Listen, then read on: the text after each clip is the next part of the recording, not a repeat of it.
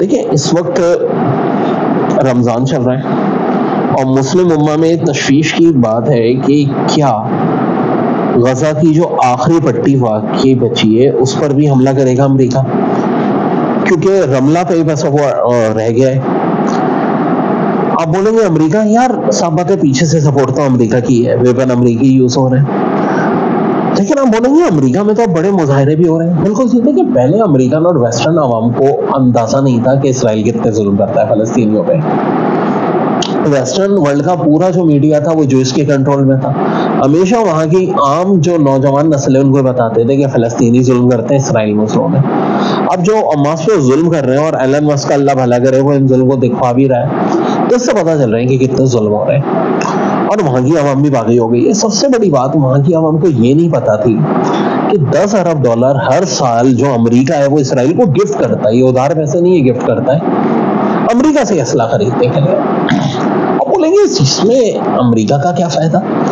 फिर बता रहा हूँ, आम अमरीकियों का नहीं है। ये दस अरब डॉलर वहाँ के आवाम की मेहनत की कमाई है टैक्सेशन की। इसे दस सोलन अमरीका पे खर्च होना चाहिए।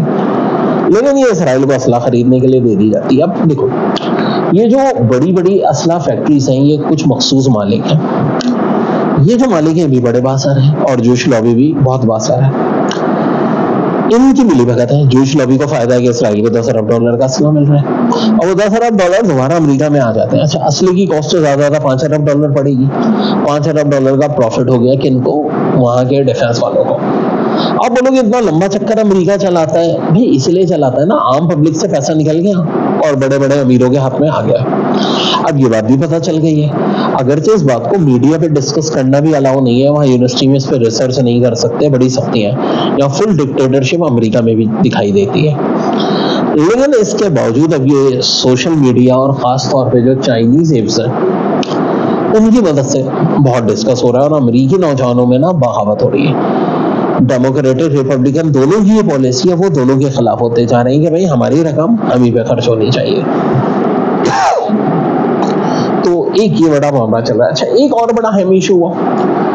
वो यूनाइटेड नेशन में पाकिस्तान और चाइना ने ना, इस्लामोफोबिया के हवाले से करारदाद पेश की।